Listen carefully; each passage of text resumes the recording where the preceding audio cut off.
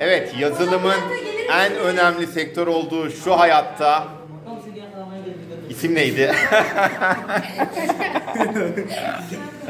Baran kod yazdı ve bunu başardı. Siz de kod yazın, siz de başarın.